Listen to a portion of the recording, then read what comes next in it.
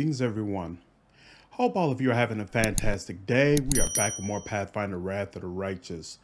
Let's see, last time I defeated what that whatever demon army was over there, but I have no more movement, so let's go ahead and get started. We need to visit the guy over at this inconspicuous camp. Let's do that. And then we'll head over to Heaven's Edge to do Daeran's quest.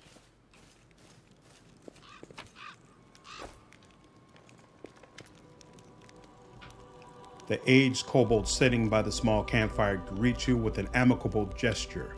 He doesn't reach for his weapon or hiss threateningly. All in all, his behavior is highly unusual for one of his kind. His clothes look quite unusual too.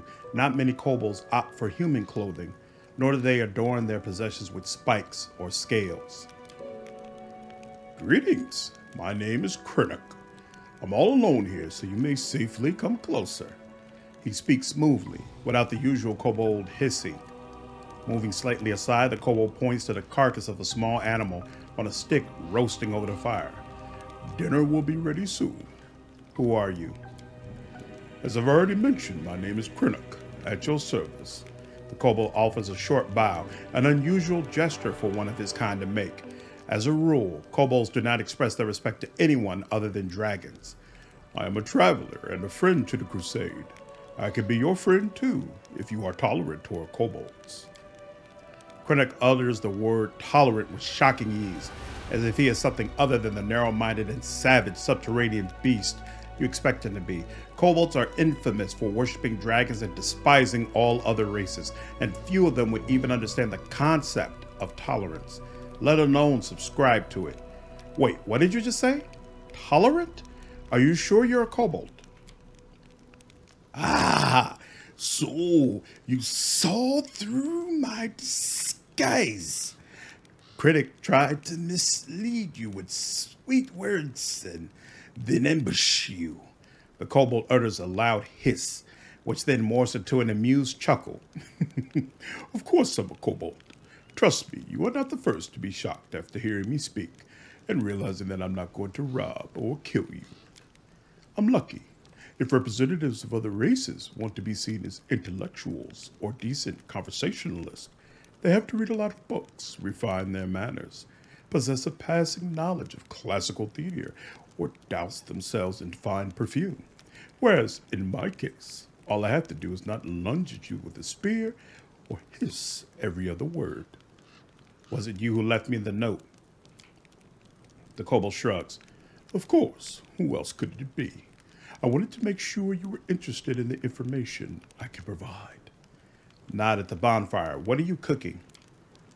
Judging by its ears and hind legs, it's a hare.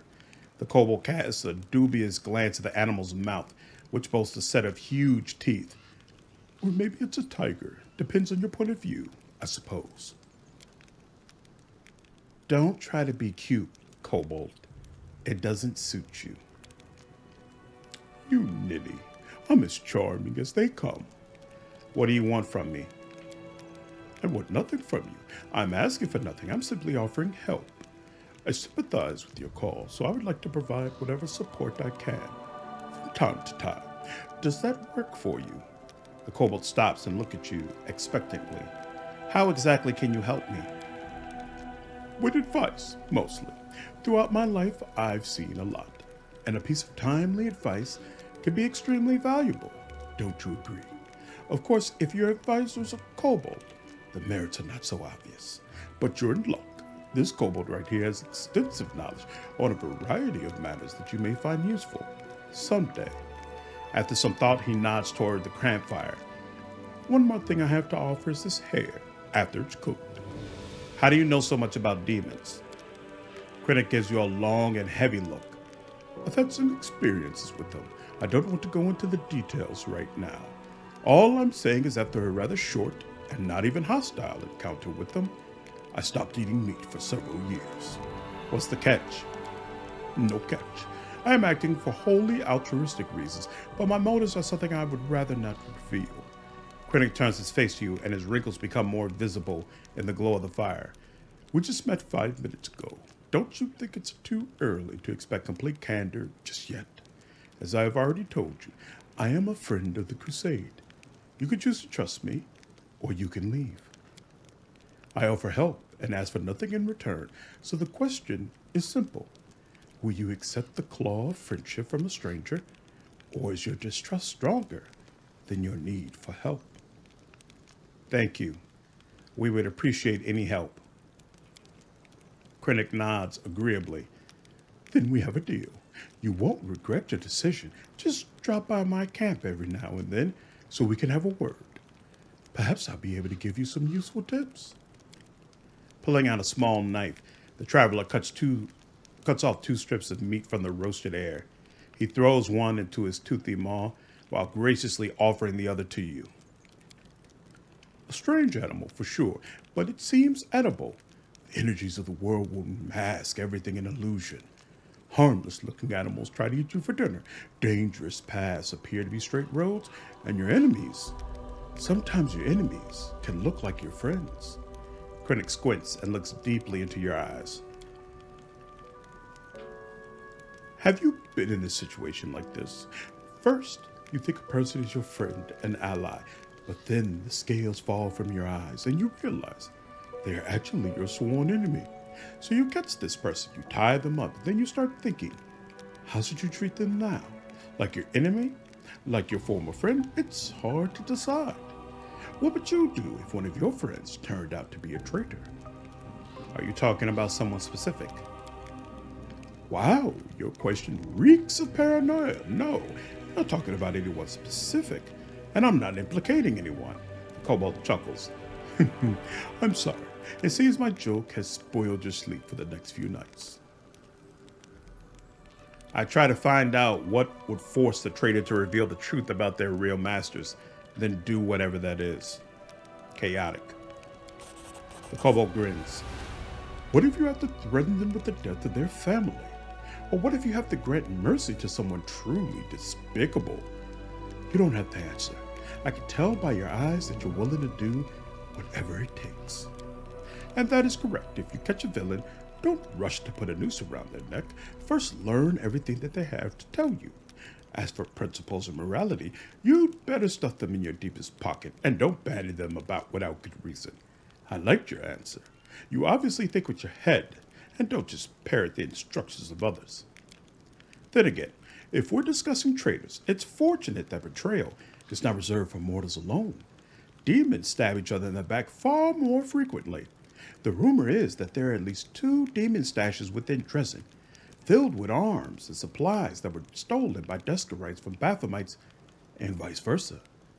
One of them is near the entrance to the fortress, while another lies by the entrance to the citadel. Where did you learn that? Gossip, hearsay, the world is an ocean of chatter, and I am quite a skilled fisherman. Well, that is highly valuable information. Of course it is. I wouldn't waste your time. Cracking his knuckles, Krennic gives you an inquisitive look. I hope that when the time comes for you to make real decisions instead of hypothetical ones, your wisdom won't fail you.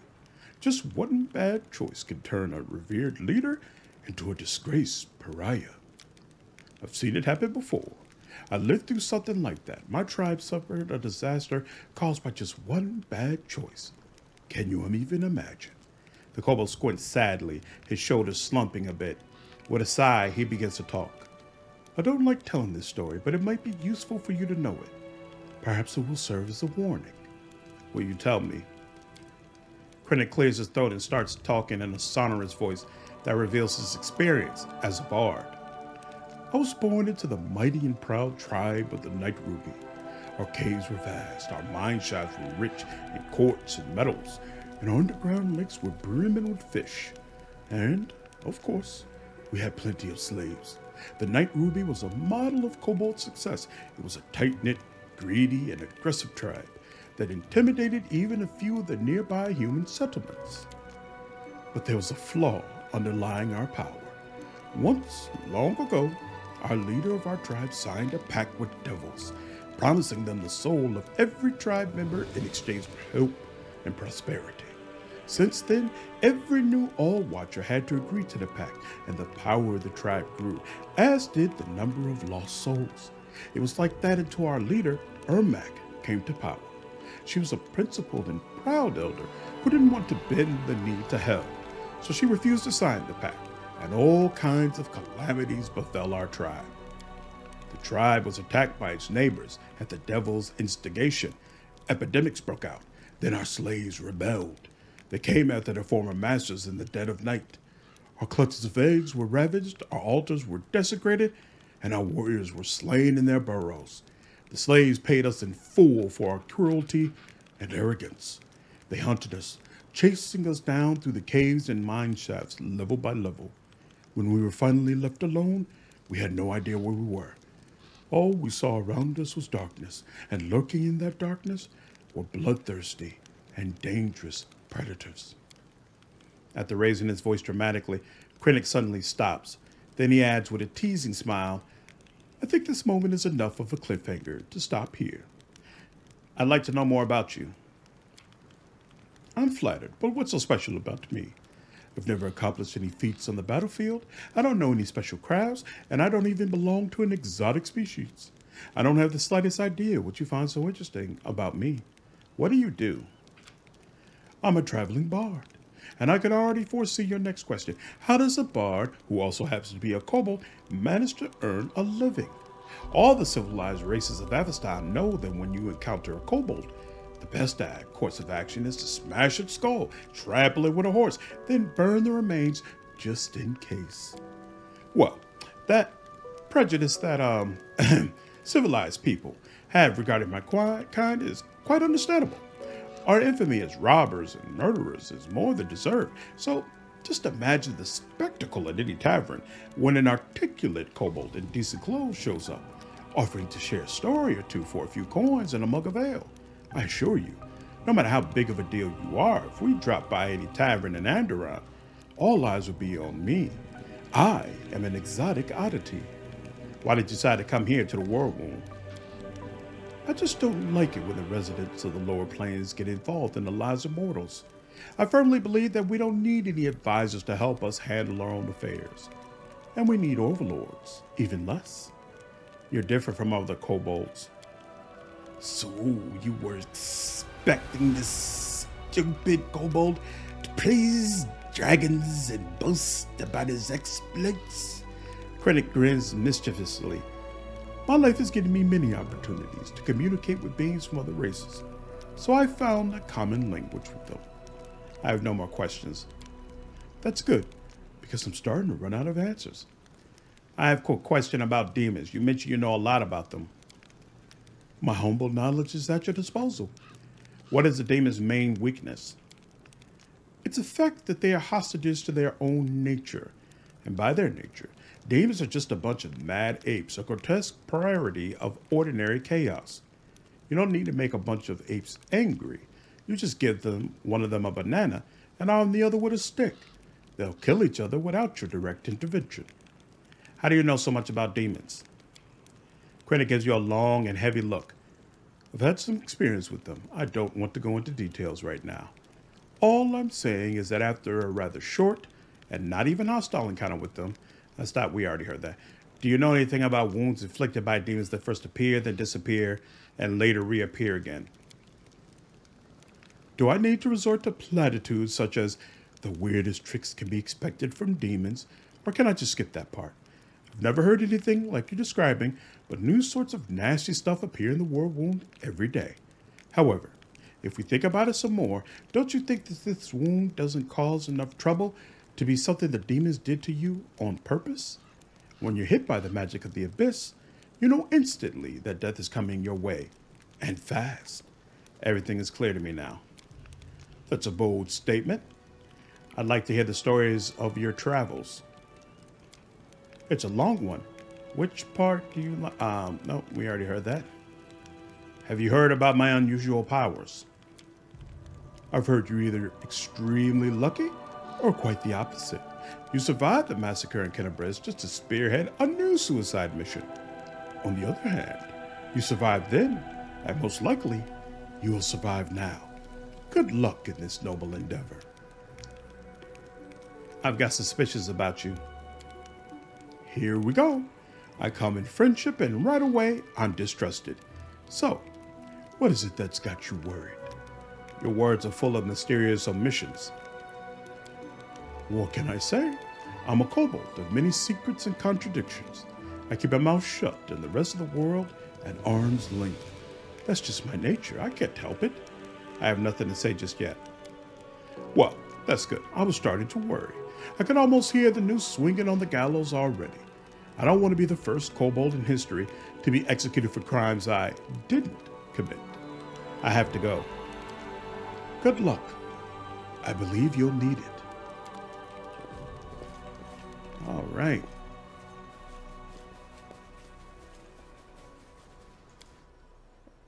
Yet another mystery that I do not completely understand yet.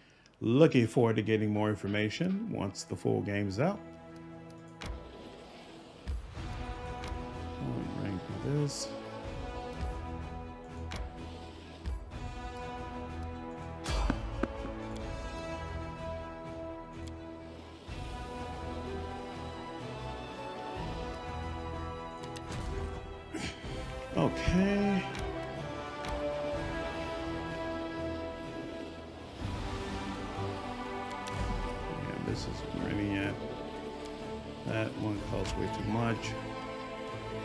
We'll see if we can take this out right here. Actually, maybe not. No, it makes more sense to deal with the fours first. This is a five, the four is over here.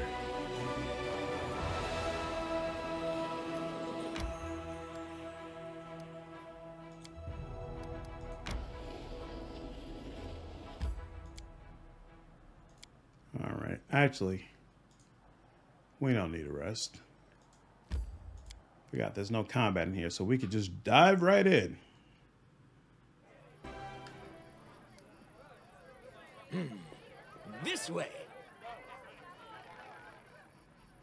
My not so numerous, but nonetheless dearest guests.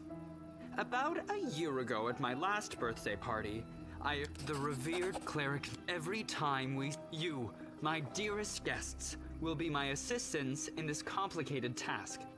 Eat, drink, and indulge yourselves in whatever vices you can. Let nobody leave this house as righteous as they entered it. Live every day like it's your last. After all, nobody knows when that day will arrive, do they? Daeran smirks, finishes his wine, and tosses the glass to the ground.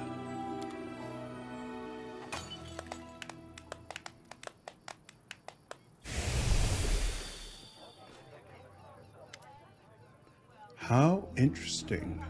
Inquisitor Leotor whispers in your ear from behind. Did you find anything interesting? Nothing, really. I just took note of a few things.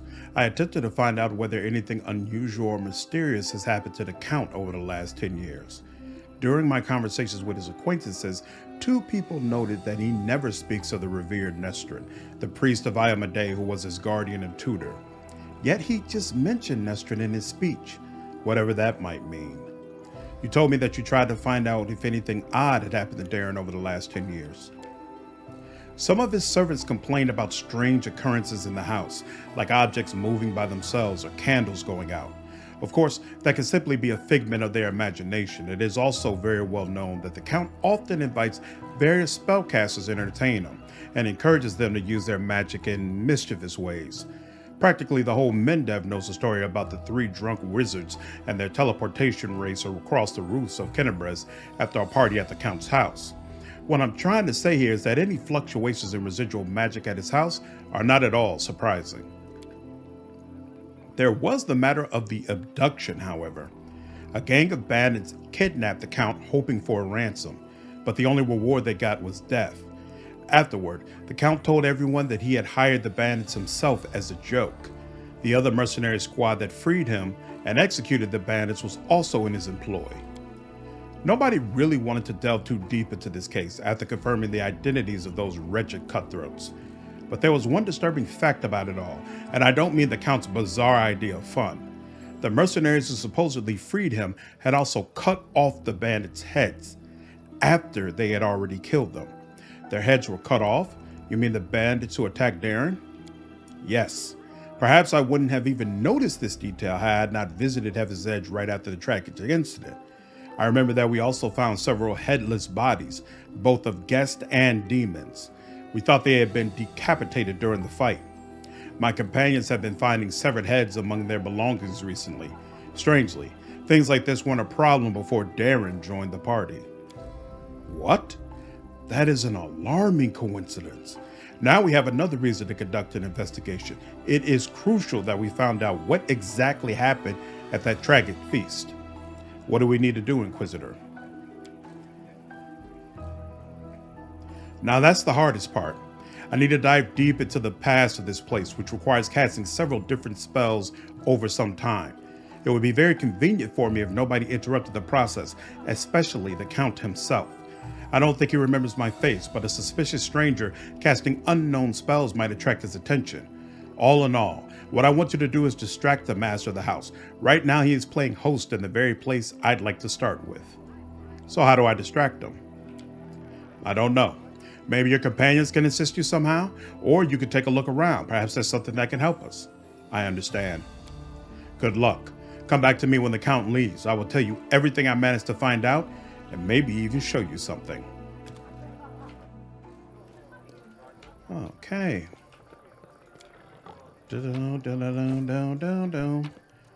The decorative plants are in a miserable state. They've been neglected for many years. Drink drink.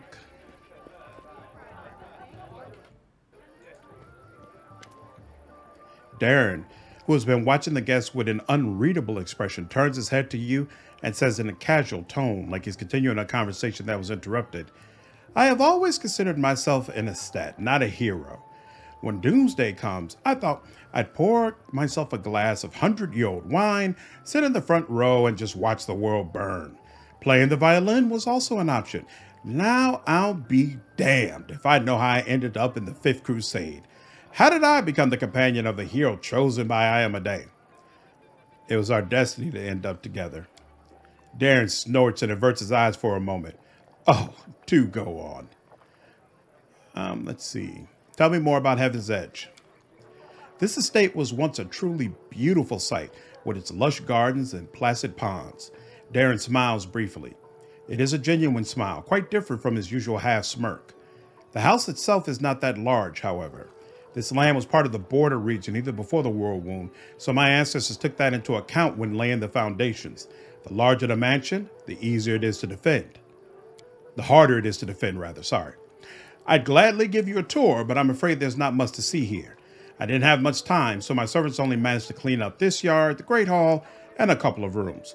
There's nothing interesting about them except, perhaps, the magical firefighting system powered by water elementals. I'm not sure it's still functional, though. Spill wine on Daeran's suit. Oh, I'm sorry. I didn't mean to. Hmm. And did you also not mean to ruin a suit that costs more than a thoroughbred? Ah, don't fret. I have a spare. Just you wait. When I return, I shall look even more stunning.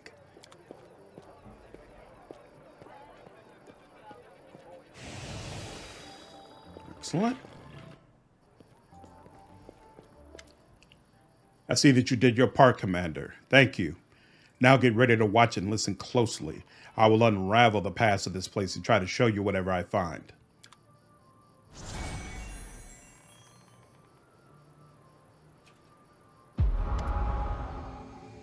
The hum of voices, laughter, and music fills your mind. Then the visions come, fragmented and hazy at first, they eventually coalesce to reveal a single face. It is a woman of stunning beauty, heavenly beauty, and her delicate features instantly tell you who she is. The family resemblance to Daeran is obvious. My dear guest, the Lady of Heaven's Edge welcomes all of you today. I hope this day is as bright for you as it is for me, because on this day, my only, precious, sometimes arrogant, but utterly beloved child was born. A child is usually a reflection of their parents and caretakers. Countess, will you allow the humble tutor of this young man to address the guests and the man of the hour as well? A new face appears. It is a handsome old man with a strong, dignified posture and a voice that emanates power. Can't we have just one day without your sermons? It's my birthday, after all. Ten years ago, the young Daeran had an utterly angelic appearance. His table manners and expression lacked the dignity of a true angel, however. Da!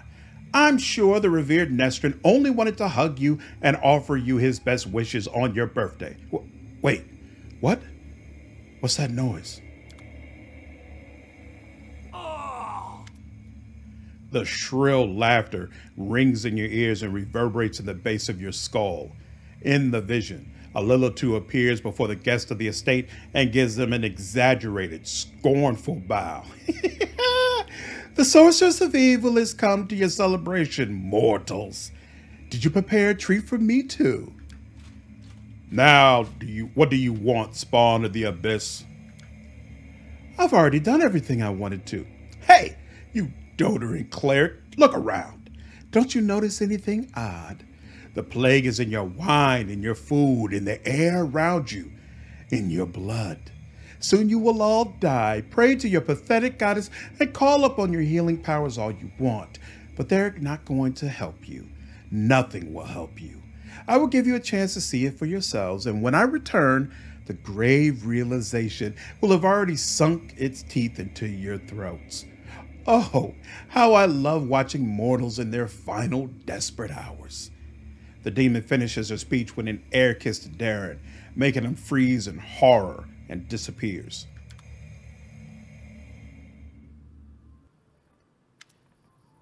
Leotor shakes his head and slowly exhales, rubbing his temples.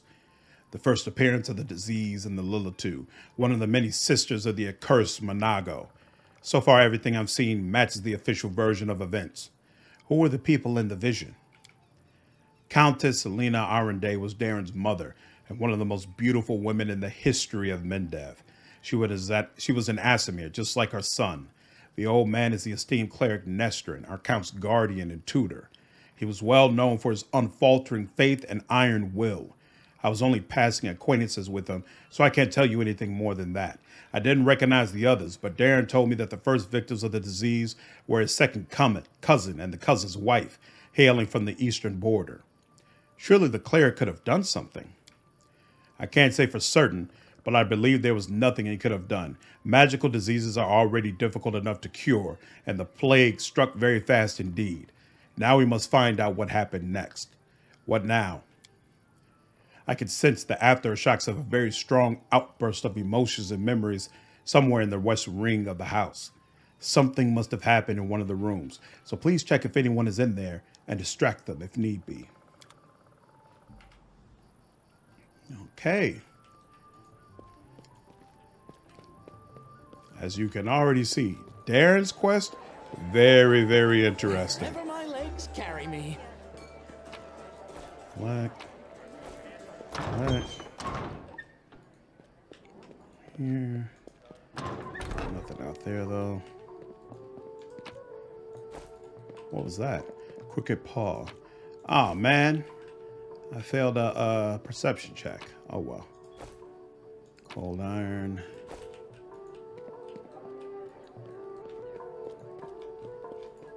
Nothing there. Forwards! No, no, backwards. Uh, backwards! Long, long list of diamond dust. Like I said before, diamond dust is plentiful. Dinosaur bones, on the other hand, yeesh.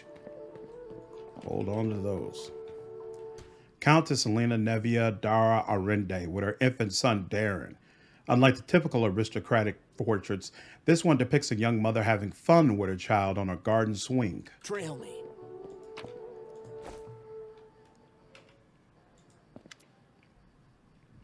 Daeran arches a brow at you, but he doesn't seem to be disturbed in the slightest by your entrance.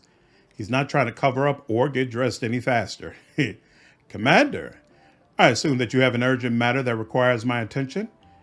What is this room? Daeran casts a look around the room as if he had never seen it before, then shrugs carelessly. Just a random room. I told my servants to make some rooms ready. This is one of the rooms they chose. I am absolutely confident that you won't be able to persuade Sosiel to draw a portrait of you. A new portrait, that is. That sounds like a fine idea. Our cleric will surely turn down a direct request, but if I tell him that we can sell the portrait at a charity auction, why, have I never before thought of selling my new portraits at a charity auction? It will cause a huge scandal, but it will also be for a good cause. This will give those God bothers something to complain about. You've given me a brilliant idea.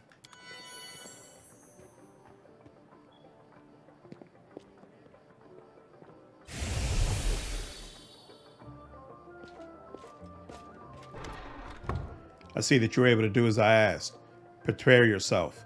This vision might be rather difficult to watch.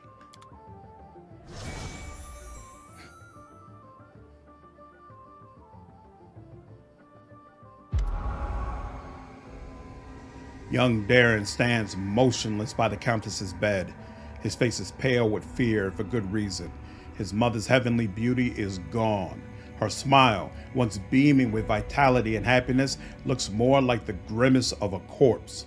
Only her golden hair still glows, a sad reminder of the healthy young woman she was just a few hours ago. Mother, can you hear me, Mother? Da, my boy, how did you get here? The Countess's voice is fading. Don't come any closer. I. This disease. Mother, listen. The revered Nestrin has sealed the gates. He says that he won't let anyone leave the estate.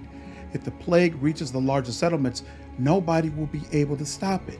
He claims this is why the demons attacked us in the first place. They knew that we would call upon the strongest clerics to heal us, and those clerics would catch the disease and die as well. The fat baron and his family tried to escape, but three armed paladins barred their way and said they would not let them go. Mother, we need help. Kenabres is full of clerics, wizards, and demons, no one else. They might know how to stop it. We need to get there as soon as possible. We must obey the revered Nestrin. We are the lords of Mendev, and we must protect our people. If the plague, if it reaches Kenabres, thousands of innocent people will die. I don't care about any innocents. Daeran's voice rises to a shout. You're ill, mother. You, you, you're dying. You must tell them to open the gates and take you to Kenabres. They won't listen to me, but you are the lady of the estate. They can't refuse you. I I can't. I must. Please leave, my dears. Don't lose hope. You can still. A convulsion overtakes the Countess's body. Her last words are swallowed by a long, guttural groan. Leotor wearily rubs his temples, but his face is unreadable. Now I have an answer to one of my many questions. Nobody went to Kenabres in search of help, because the revered Nestrin didn't let them. He valued the safety of the city more than the lives of his flock at the estate. What a difficult choice it must have been. Was there really no other choice? Who can say now? They could have sent one of the paladins to bring help from Kenabres, assuming that the Knight of God was immune to the disease. Perhaps Nestrin thought he might need them to maintain order, or maybe he understood that the demons would not allow anyone to leave anyway, or maybe the plague was so strong that it could mow down even the most righteous warriors. We will never know if any of these hypotheses are true.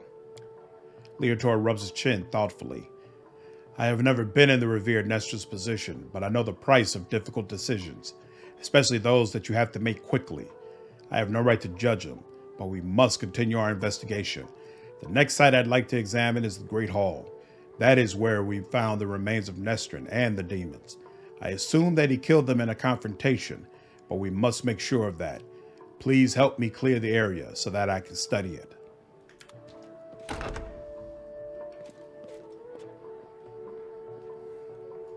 In wait for me there? No, no, no, no, no, no, no, no, no.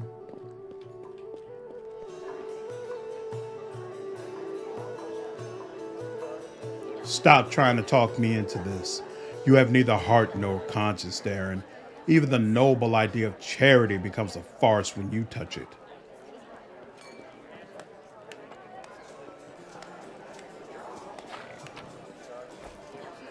Think these so called innocents will suffer from knowing that their money and medicine came from my sinful silhouette.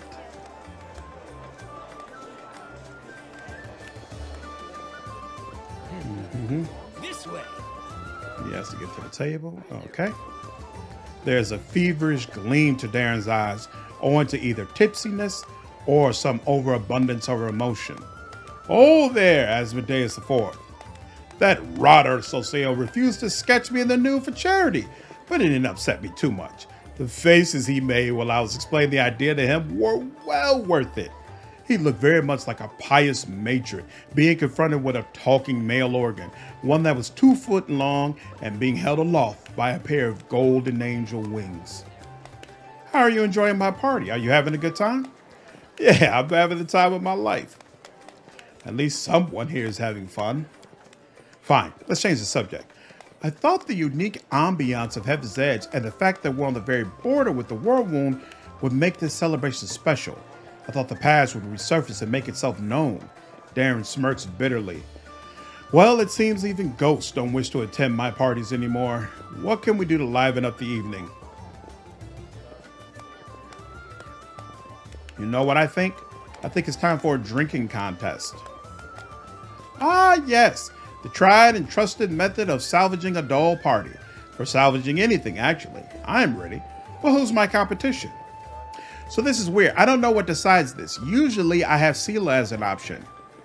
And I don't know if maybe you need to talk to her before you have this conversation more, or if it's about how often she's been in your party so you're closer to her.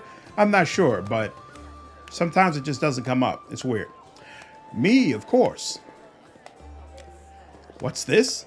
The commander himself, the hero of Kenabres, the chosen one, is challenging me to a drinking contest? I'm in. Let's drink until one of us falls unconscious or begs for mercy.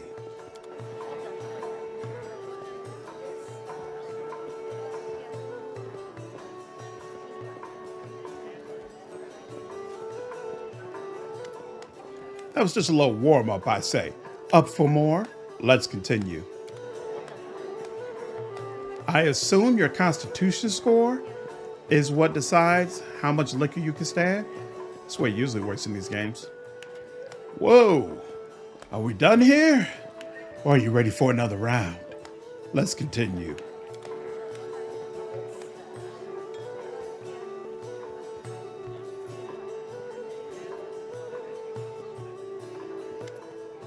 My grandfather, or maybe my great grandmother, put this bottle in the family cellar and had allowed the scion of an illustrious line to save face and finish in a tie. Darren looks a bit unsteady on his feet. I don't feel very well. H- hey, everyone, let's go back outside. I Dick, need to get some fresh air in my, in my lungs.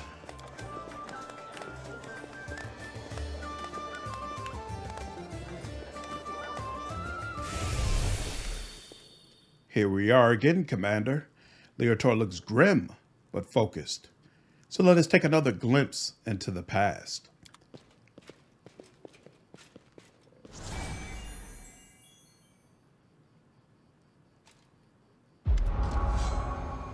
A ripple of laughter flows through the hall.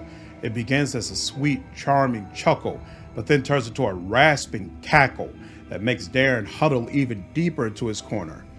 Why are you running from me, my sweet prince? Come on, let me touch you. I'll give you. The booming voice of an old man dressed in Iomedean robes shakes the walls of the hall. Get away from him, demon. Let the boy go. By the blade of the inheritor, you touch him only over my dead body. You are pathetic, old cleric. Are you the guardian of this charming little prince? Well, you guarded him in vain. The disease is already circulating in his blood, and soon he will rot before your very eyes. You won't be able to help him, and I, I can at least make sure his death is beautiful, clean, and sweet. The demoness turns her eyeless face to Daeran and licks her lips. A coarse laugh escapes the young man's throat. we'll see about that. Leotor turns toward you in astonishment. Droplets of sweat glisten on his temples. Something is wrong, Commander. My spells are not working as expected. It's as if some kind of a supernatural explosion occurred here 10 years ago, blending everything together the magical auras, the emotions, the memories. I, I will try again to read it. Could it be dangerous? I cannot say for certain, but it is unlikely. The past is in the past, and no one can travel through time except for some uniquely powerful entities like Aeons, or perhaps the eldest of the First World. Even though the past of this place is horrible, it poses no threat to us in the present. Please continue. Just give me a moment to focus. I will try to channel my visions and feelings to you as accurately as possible. Daeran, my boy, what is going on? Leotor's muscle, muscular shoulders suddenly begin to shake. The vision he is channeling does not change, but you feel something enormous and chilling silently infiltrate the reality around you. The presence of this nameless being becomes almost palpable. Some alien entity is talking to him. Hurry, old cleric, stop him right now. Do you really want to see what happens when. Save me. Can you save me? The presence thickens into something more tangible. The entity is silent, but you feel your blood pulsing in your temple, and each beat brings a new image, or rather, a new notion. Help brings a feeling of relief and safety. Exchange makes the pulse stronger, more demanding. Gate and secret come immediately after. The images become heavier, almost visible. Secret. Keep the secret. Otherwise, death, death, death, death. The gruesome images whirl through your mind, filling it with pain and fear. And then it all starts again. Help, exchange, secret, death. Nestrin stretches out his shaking hand, suddenly looking like a doddering old man instead of a mighty cleric imbued with holy power.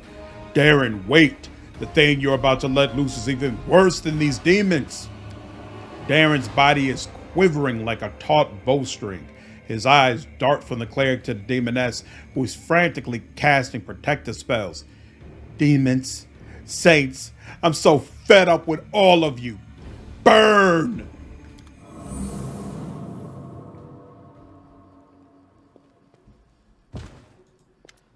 Leotor opens his eyes with a groan, then gets back to his feet. His legs are wobbly, his eyebrow is cut, but he seems not to notice. Sincere sorrow is written on his face, as well as a strong hint of horror. What a misfortune. No, what a disaster. Everything is far worse than I imagined. Are you all right? The strain, the emotions, they overwhelmed me and made me faint like an agitated youngster. It is nothing, really. I will not be able to cast any spells for the rest of the day, but aside from that, I'm fine. Do you understand now what happened 10 years ago? The Inquisitor slowly exhales through clenched teeth and says in a low voice, still massaging his temples, Yes and no. Damn it, my thoughts are astray. I will try to explain everything to you in full detail. Many living things are capable of performing the most extraordinary feats, good or bad, when a deadly threat looms over them. Ten years ago, the young Count found himself cornered in every sense of the word, and he allowed some alien entity to intercede for him. It frightens me that all my experience as an Inquisitor is completely useless in this case. It does not resemble anything I've ever heard or read about. This entity, I think I will call it the Other, possesses uncanny power. It was capable of instantly killing three greater demons, a mighty cleric, and a host of other mortals. You saw everything yourself.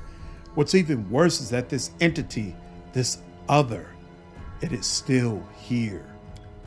Leotor takes a long pause. His gaze is drawn to the chamber where all the guests are laughing and dancing. Daeran's eloquent voice rises above the music for a moment.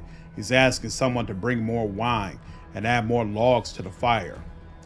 I don't know what exactly this creature is, but I know what it did to the Count. It turned him into a living gateway. The other is not inside the Count's body, it is not directly controlling his mind. That's why there are no obvious signs of possession, but it is looking through his eyes. It treats him like a window into our world, and it can instantly step through it to wreak havoc, whatever havoc it desires. Does Daeran know anything about all this? Yes, of course he does. Did you hear what the other tried to convey to us? Help in exchange for a secret. Death. Death to those who know the truth. It wants to have an opportunity to use the count as a gateway without anyone knowing. This is what made Daeran deny that he remembered anything about the conclusion of the events at Heaven's Edge. What might the other want?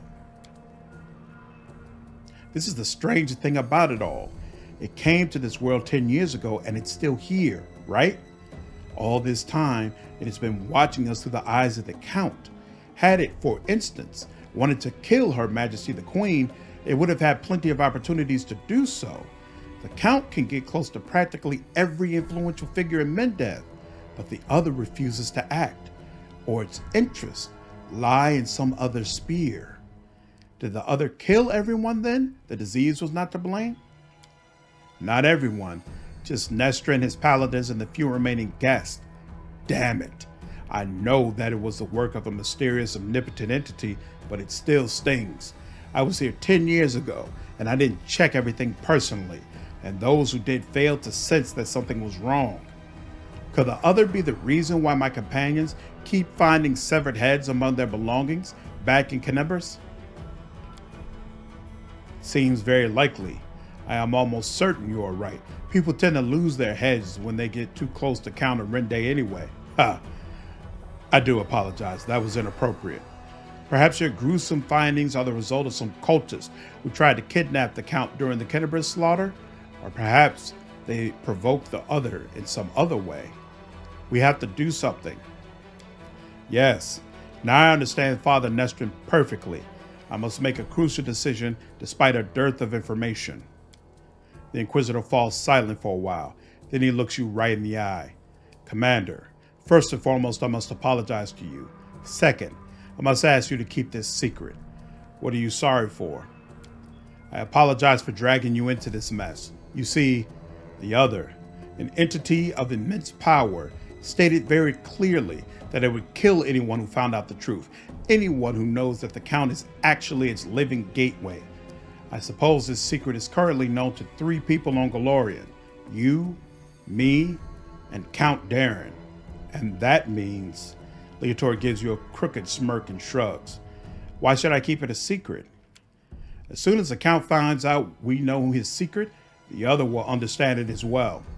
We do not know what it is and what exactly is the scope of his powers, but we do know that it would dispose of anyone who might reveal its existence. I've made a decision, Leotor says gravely. I will not tell anyone about the discovery we just made, not even the Queen or my superiors. Instead, I will immediately go to Nerosyan and sift through all the archives of the Inquisition in order to find out what exactly we are dealing with and how it can possibly be defeated. I may also make some cautious inquiries in other places, such as Absalom. Still, I will not reveal the truth until I've found at least some reliable information. I'm asking you to do the same. Specifically, do not say a single word about our investigation to the Count himself. So, you want me to lead the crusade while carrying a bomb that may explode at any moment? I'm afraid that you won't be able to hide from the consequences when this bomb does explode. It is up to you to decide, though. What are you going to do with Daeran himself? At the very least, he is guilty of letting the other enter our world. Right now, I'm a lot more concerned about the other, but when we find a way to get rid of this entity, the Count will have to stand trial. Many things about this case are still unclear, including the extent of his guilt. Did he call upon the other by himself, or did he simply answer its call? Could he refuse its offer, or would it have led to his immediate death? Every detail is important and every testimony needs solid proof. That is the difference between righteous justice and blind vengeance. Fine, I will keep it secret. Leotor lets out a sigh of relief. You've made the right choice.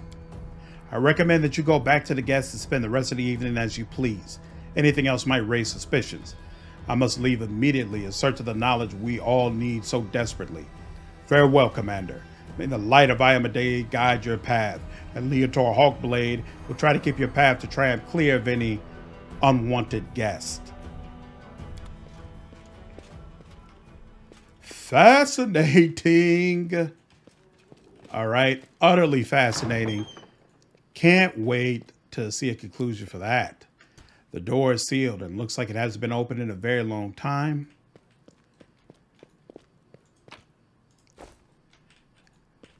You get a couple of more hints about about continuing this quest, but it is not possible in the beta to resolve it.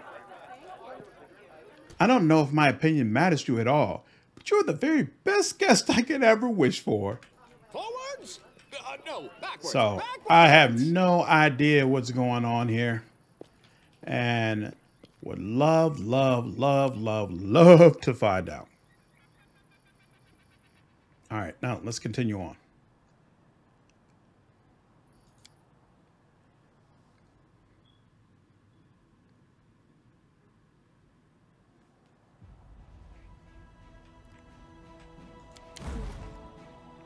Okay, can't do anything with that yet.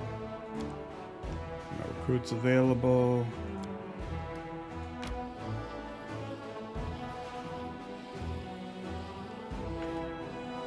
Actually, do the rest.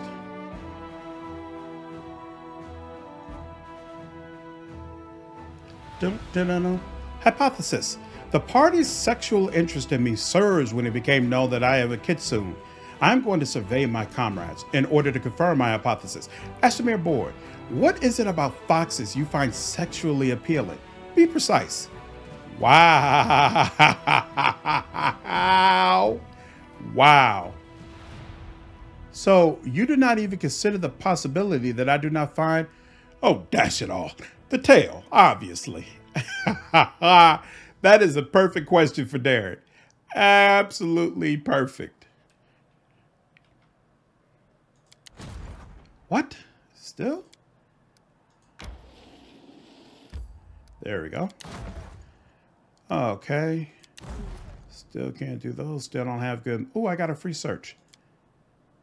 Hey, ooh. 21. Nope, that's two. What is the problem? Here we go.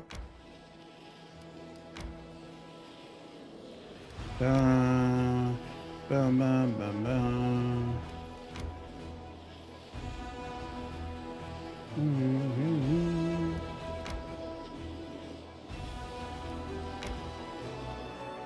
All right. This is a level four. That's a level four, but you got to go through. Oh no, we can actually go straight to that. And then this is level seven all the way down here. Okay, cool.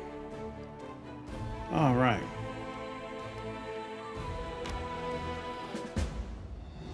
Fight the battle. Disappear. For real. There we go. I was about to say. Okay. Hmm.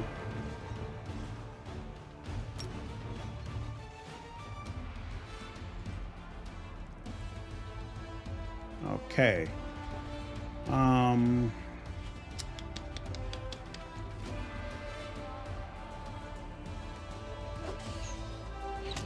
They can do serious damage to him, whereas they can only do limited damage to the gargoyle. Oh crap! There's two of these these jokers. All right.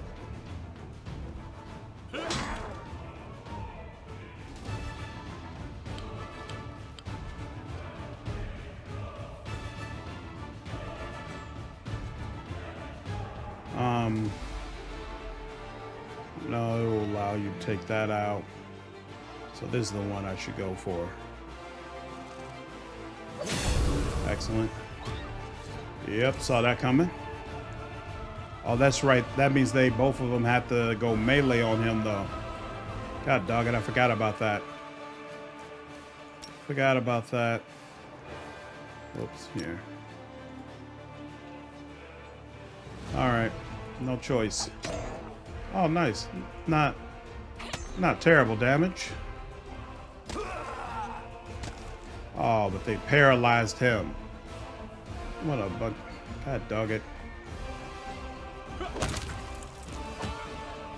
Okay.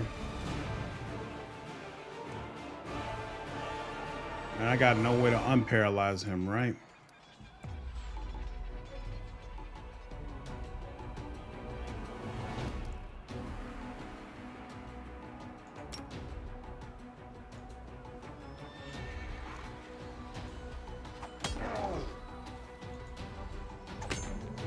Actually, he's doing more damage. Yeah, dog it.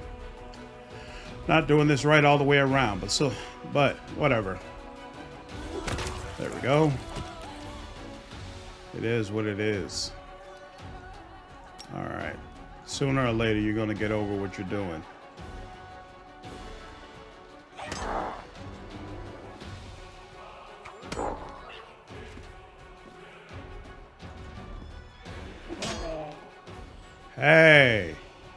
Please work.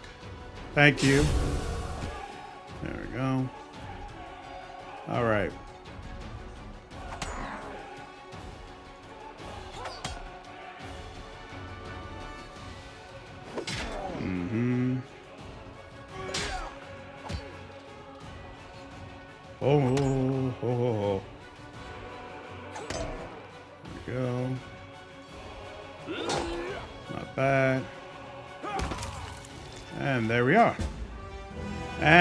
Got everybody back. I will take it. Very nice. Having driven out the monsters, the Crusaders discovered that which had drawn their attention graves. During their retreat from the Lost Chapel, its last defenders stopped here to bury their com- comrades whose wounds were too severe. The clerics can sense the god's blessing on the ground where their faithful warriors were laid to rest. Daily income increased, energy points times one. Excellent. Now, let's go ahead and get that. Pick up those reinforcements.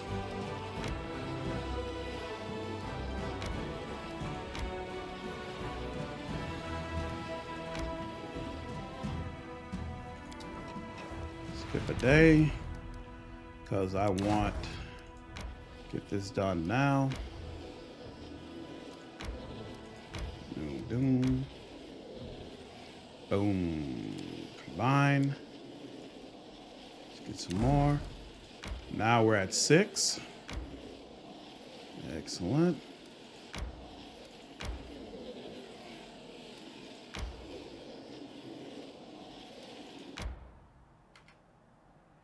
Skip another day.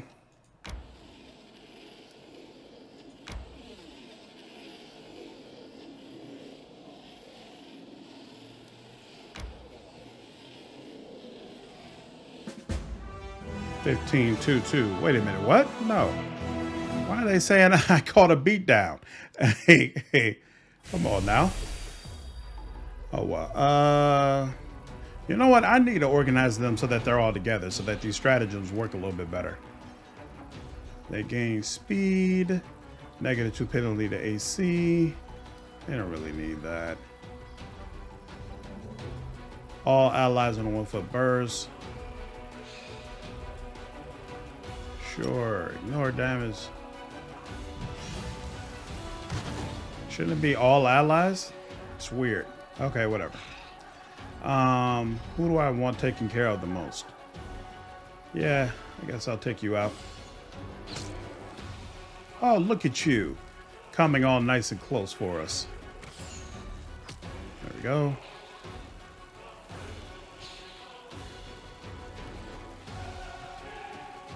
Hmm.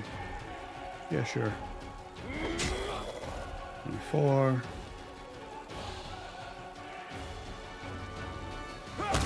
There we go.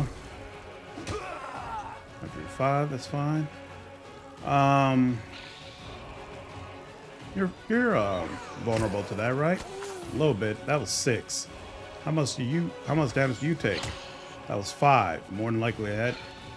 I know it could do more. That's fine. There you go. You're fit. You're sensitive to physical damage. Yeah, there we go. Stop. All right. Um. Yeah, you could probably really blow him up, right? What two? What in the hell?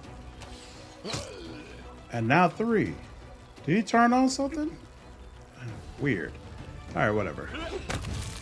Done. And now, yeah, you're not. You are not resisted to a damn mace in your face. All right. All right, all right, all right. Bam. Bam. You move up.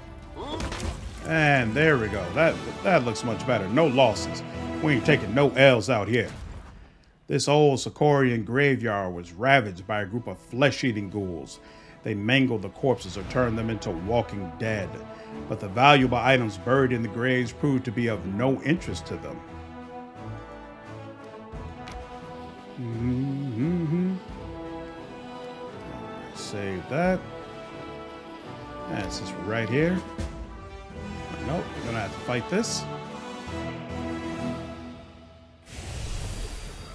Boom, boom, boom. All right.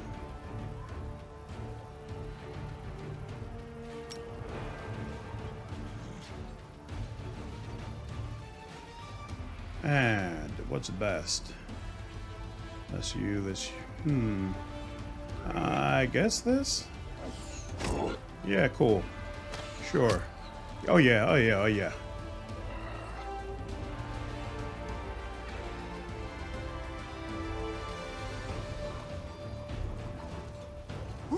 Come on. I hate when they do that. Y'all notice that that Hell Knight did not attack at all, right? So annoying. But at least it just skipped his turn this time. Yeah, poison a little bit. Poison a little bit. Poison a little bit. All right.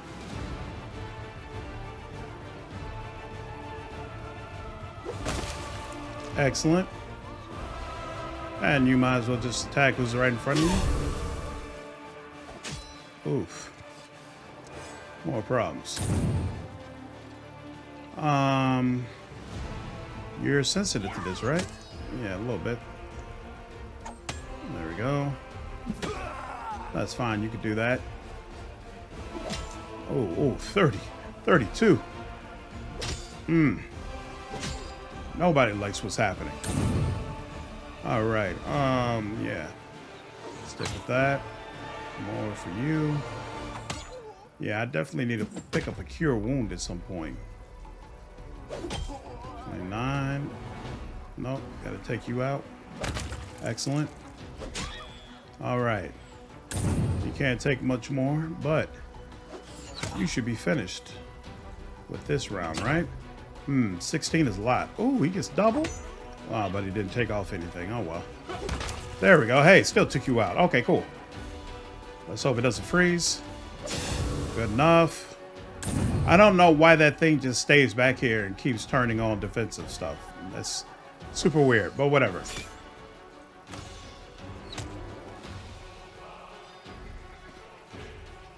And do you again. Lovely.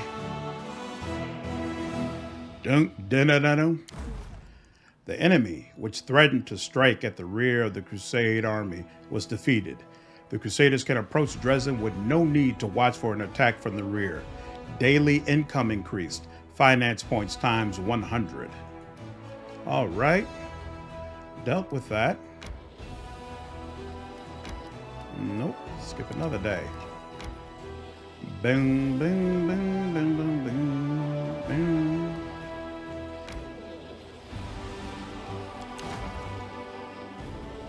All them days I skipped, still can't get a new army.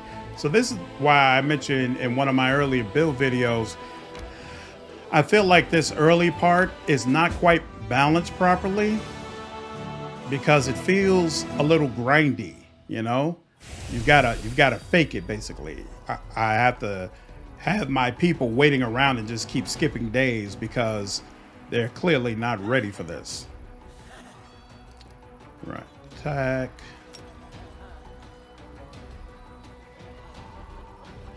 All right. Um, guess it doesn't matter. Decent. Even better. I did not appreciate that at all.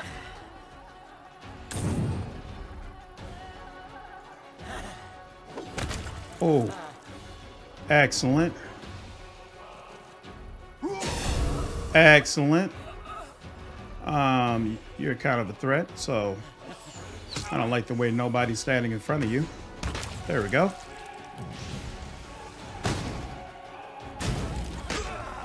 Okay. Oh, and look at you all, all running up in a row. Bring him around. Guess if I threw his shield at that. You turned on that little shield like it was really gonna help you, bruh. That shield don't mean nothing to us. You ain't gotta make it easy for us. We'll still come get you regardless. No losses. Okay. Excellent. The Crusaders took over the ruins of. Uh, the Crusaders took over the ruins of a Sarkorian settlement and put to the sword all the demons defending it. Scouts have reported a sinister looking lair nearby, which is why we were waiting over here. Ooh, there's a level 7 over here. That's rough. Um, I guess we're supposed to be ready to take on 7. We're, we're level 6, so we're only a step away. Maybe, kind of, sort of. Anyway, let's do one more of these. Bing, ding, ding, ding. All right. I like the stratagems, as you all can see. Um, who was that middle guy? The middle guy is strength. So I think he's more susceptible to arrows, but I think he's the bigger issue. So we'll deal with you first. Because those little throwing hammers he can do are no joke. Yeah, sure, move up.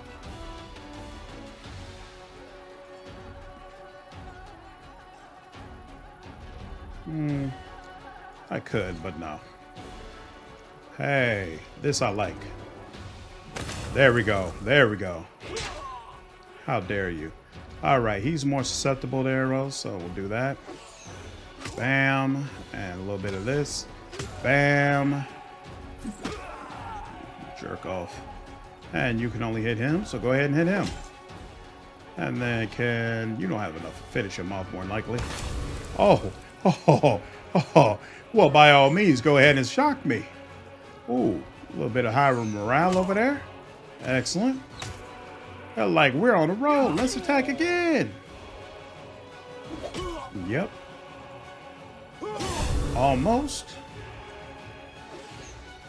Ooh, almost again. There we go. Two five.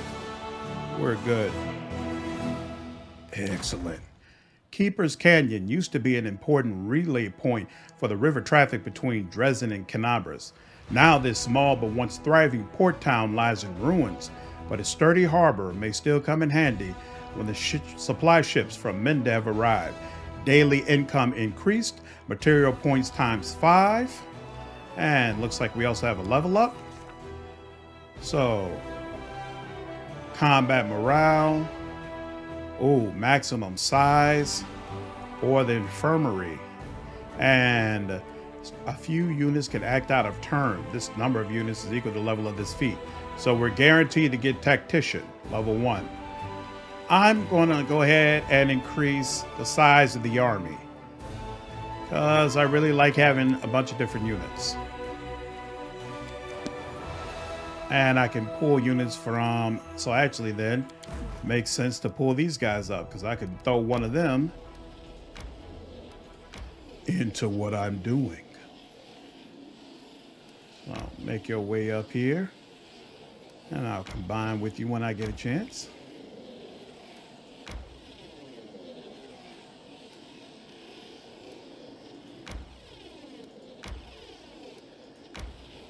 Oh crap, I shouldn't have done this. Nope. Okay. I was about to say, I forgot when you combine, it takes away the movement speed, right? I'm not interested in that right now.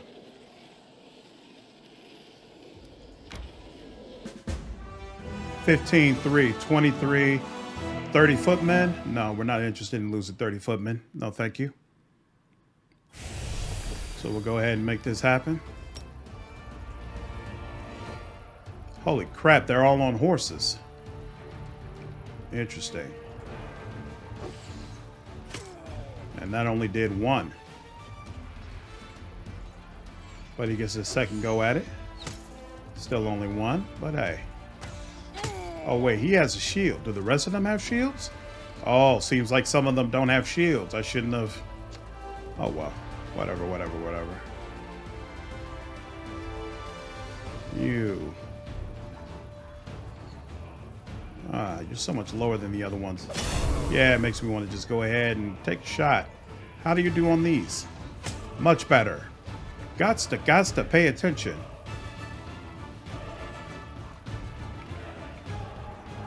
Seriously? Is it frozen on the enemy's turn now?